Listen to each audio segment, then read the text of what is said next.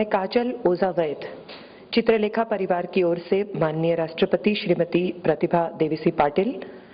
अतिथि विशेष honourable minister of communications Shri Kapil Sibal ji